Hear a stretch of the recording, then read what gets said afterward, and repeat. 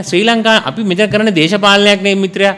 අපේ පොදුජන එක්සත් පෙරමුණේ පොදුජන පෙරමුණේ ඉන්නේ අපිත් එක්ක එකට ඡන්දය ඉල්ලලා පොදුජන එක්සත් පෙරමුණේ බුලත් කොල්ලෙන් ඡන්දය ඉල්ලලා ගිය කට්ටිය. අපේ එයාටම අපි අවසර දුන්නා ගිහිල්ලා විපක්ෂයේ වාඩි වෙන්න කියලා. යම් සුවිශේෂී කාරණාවක් මත ඒගොල්ලන් පක්ෂයක් හදාගත්ත කියලා කියමු. අපි දේශපාලන ක්‍රියාවලියක නම් යෙදෙන්නේ අපට ඒ දේශපාලන ගනුදෙනුවේදී වඩා වාසිදායක වඩා හිතකර තීරණයේදී අපි පුජ්‍යන එක්සත් පෙරමුණේ මන්ත්‍රීවරුත් එක්ක අපි කතා කරනවා. අපි හිටු පරණ මන්ත්‍රීවරු.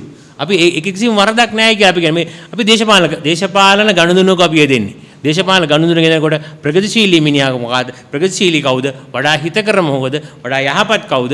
එයත් එක්ක අපි ගනුදෙනු කරනවා. මේ විදිහට අපි දේශපාලන ගනුදෙනු කරන්නේ. බොහෝ දෙනෙක් හිත අධ්‍යා ඔහුගේ අධ්‍යාත්මය උන්ට ආය ඛේද වාචකයක් ඔහුගේ අධ්‍යාත්මය උන්ට හඬගා ප්‍රශ්න කරනවා. මම ඉන්නේ නිවැරදි තැනද කියන කාරණේ ඒ ඒ ඒ නිසා තමයි එයාට තාම කියවෙන්නේ වචන අපි ශ්‍රී ලංකානු දාස් පක්ෂේ මාව දාලා ගියේ නෑ මං ජනාධිපතිතුමත් එක්ක ඉන්නවා අපි මෙතන ඉන්නේ මේ ඔහුගේ අධ්‍යාත්මය ඔහුට ප්‍රශ්න කරන ඔහුට ඔහුට හිත දෙන්නේ නැහැ. මේ මේ ඒ අර්බුදය ඔහු ඉන්නේ.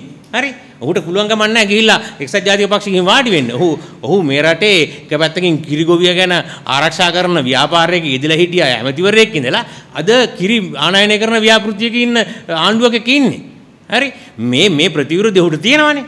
ඉතින් මම හිතන්නේ මේ හොඳ අධ්‍යාත්මයක් තියෙන දේශපාලනඥයෙකුට පක්ෂේ මාරු කරලා එහෙම යන්න පුළුවන් කමක් නැහැ. ඒකයි හඬා වැටෙන්නේ. හරි. මම හිතන්නේ ඒගොල්ලන් අපි ආපහු හොයාගෙන සම්බන්ධ කරගන්න උත්සාහ කරන්නේ නැහැ. එතුමාලා අපිත් එක්ක කතා කරනවා. අපි ඕන්ලාව කැමති. අපේ හිට පරණ මන්ත්‍රීවරු අපි ඇයට එහෙම මේ මේ දේශපාලන ගනුදෙනුවේදී සතු අපිත් එක්ක හිටපු කට්ටිය අපිත් එක්ක අපේ කැබිනට් මණ්ඩලයේ හිටියා. අපිත් එක්ක වැඩ කළා. අපේ අපේ සමාජ ව්‍යාපාරات එක්ක වැඩ කරපු කට්ටිය.